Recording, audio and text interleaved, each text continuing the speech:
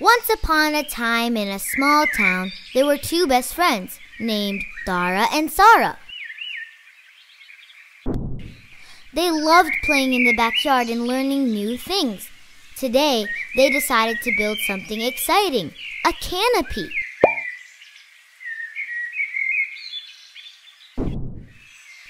Hey, Sara, let's build a canopy together.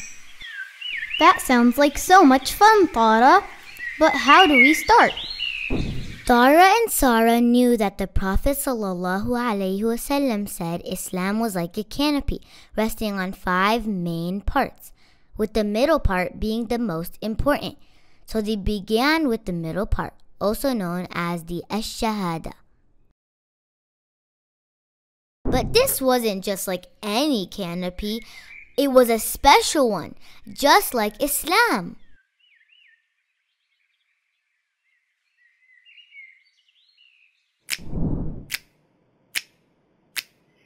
Five pillars strong, we stand so tall. They guide our lives, one and all. First is Shahada, our faith we declare. Believing in Allah, His love is everywhere. Second is Salah, five times we pray. Talking to Allah throughout the day. Third is the Zakat, we give to the poor. Helping others, we open the door. Fourth is Saum, in Ramadan we fast. Learning patience, blessing blessed. Fifth is Hajj, to Mecca we go.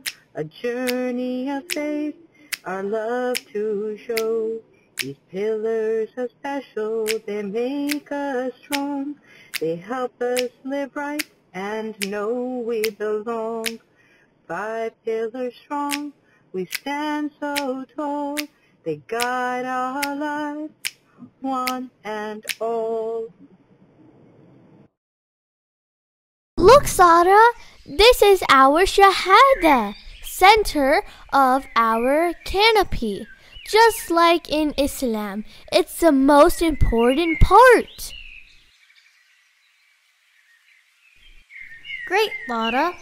Now let's add the four corner supports. They are essential for our canopy to stand, just like the four cornerstones of Islam.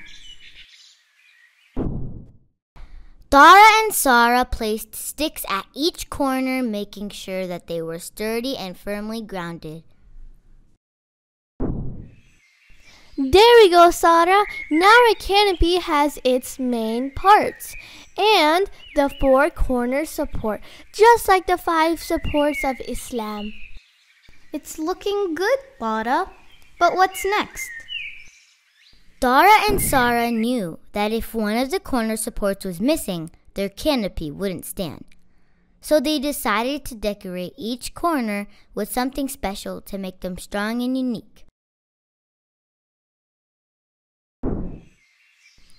We did it, Sara! Our canopy is not only strong, but also beautiful, just like Islam.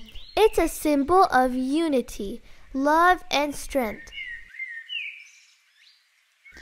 You're right, Tara. And building it together was so much fun. And so, Tara and Sara learned that by working together and following their faith, they could create something beautiful and strong, just like their special canopy.